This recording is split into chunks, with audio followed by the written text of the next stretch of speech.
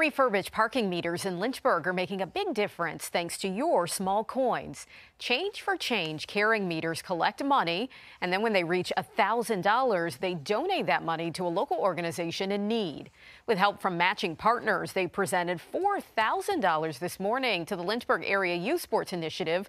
The group organizes pop up sports clinics and provides equipment at the Lynchburg Sports Locker. The University of Lynchburg's women's soccer coach is a part of the initiative and says this will provide more children with opportunities. We have a, a society now that's a pay to play model. And if you don't have a lot of money, it's really hard to play. It's hard to get good. University of Lynchburg, if you want to play women's soccer here, it costs thousands and thousands to get good enough to play.